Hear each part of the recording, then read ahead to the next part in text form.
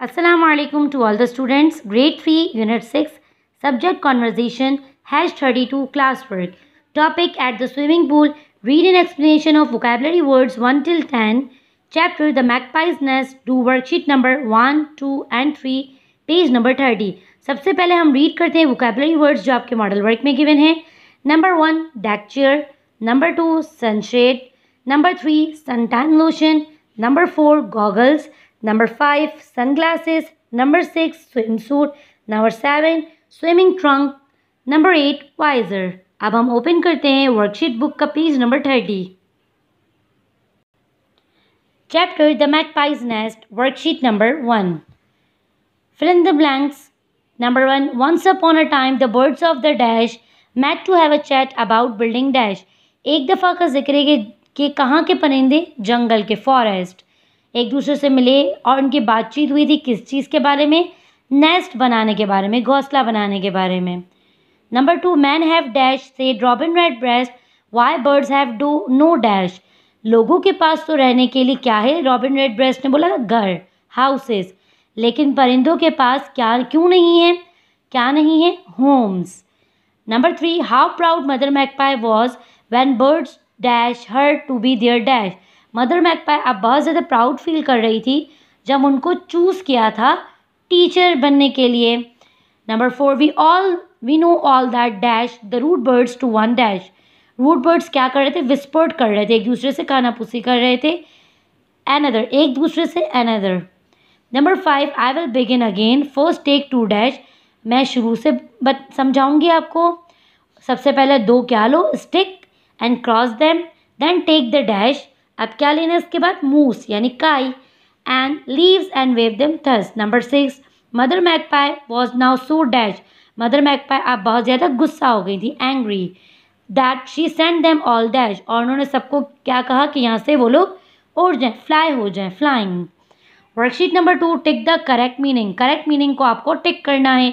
Whisper whisper means murmur number two fluttering fluttering means flapping wings boasted boasted का मतलब होता है talk proudly about oneself swiftly swiftly means quickly number five chat chat means informal talk worksheet number three choose the correct spelling आपको correct spelling पर tick करना है और यहाँ पर आपको लिखनी है.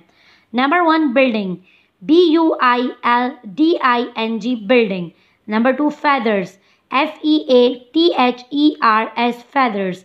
Number 3 swiftly S W I F T L Y swiftly. Number 4 through T H R O U G H through. Number 5 swallow S W A L L O W swallow. Number 6 bosted B O A S T E D bosted. Number 7 fluttering F L U T T E R I N G fluttering. Number 8 magpie M A G P I E magpie. Number 9 speech, S P E E C H, speech. Number 10 whispered W H I S P E R E D whispered. Worksheet number four choose the correct answer and write आपको correct answer पर tick करना है और यहाँ पर लिखना होगा. Number one the birds of the forest met to have a dash जो जंगल के परिंदे थे वो एक दूसरे से क्यों मिले थे? ताकि वो घोंसला बनाने के बारे में बातचीत कर सकें. The birds of the forest met to have a chat about building nest number two people must live in houses for they have लोगों के पास तो रहने के लिए घर होना ज़रूरी है। क्यों ज़रूरी है? क्योंकि लोगों के पास क्या नहीं होते? No feathers to keep them warm उनके पास पंख नहीं होते अपने आप को वार्म रखने के लिए। Number three I keep myself warm by flying swiftly said किसने बोला था कि मैं अपने आप को तेज़ हवाओं में उड़ाकर वार्म रखता हूँ? Forky tail the swallow number four they all agreed they must try to वो सब मान गए थे कि उनको क्या करने की कोशिश करनी चाहिए। Built nest for the babies अपने बेबीज़ के लिए घोंसला बनाने की कोशिश करनी चाहिए।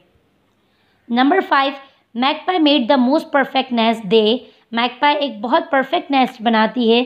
तो वो सब परिंदे मैकपाई के पास गए थे और कहा था कि आप हमें बनाना सिखाएँ।